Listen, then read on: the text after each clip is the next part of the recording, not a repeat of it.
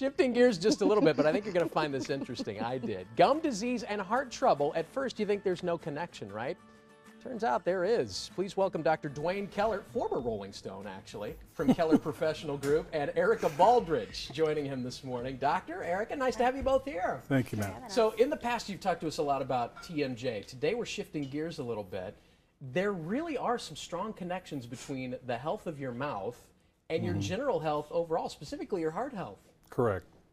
What we found in a couple of studies is that as we treated the gum disease, the systemic inflammatory markers that are recognized by the FDA as what they call markers for who's going to have a heart attack, stroke, or have, develop atherosclerosis decreased over 25% just wow. by treating gum disease. So, how is it that the bad stuff, the infection, the bacteria, gets from your gums to your bloodstream?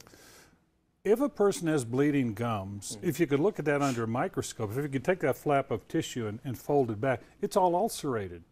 And at the bottom of those ulcerations are the blood vessels. And that's why gums bleed when you brush or floss. It means the blood vessels are exposed to the bacteria. Mm, so this picture we're looking at here, all those little red dots kind of around and below the gum line, those are points of entry basically for the bad stuff. Exactly. Into the bloodstream. Yikes. Okay, so enter Erica your lovely model that you yes. brought along with you this morning.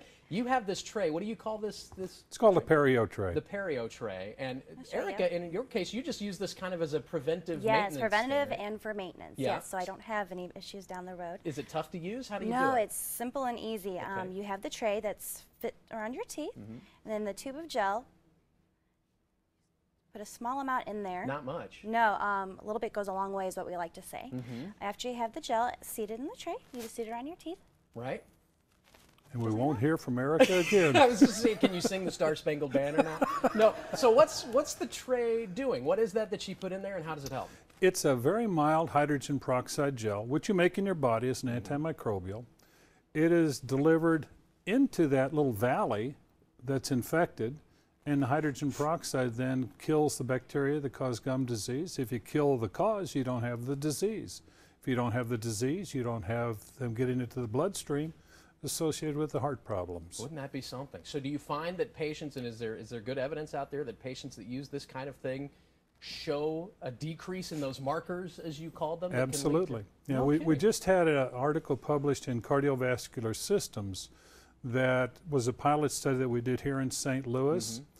Uh, to show that we could actually decrease those systemic inflammatory markers by greater than 25%. No kidding. Wow. Keep doing it, Erica. Keep doing it. Thank you very much. And you too, Dr. Keller. Always nice to have you here. If you are experiencing any of these problems, give Dr. Keller a call, 314 638 4190. He can help you find out, first of all, why you might be having pain, why you might be having these ulcerations, what can be done about it.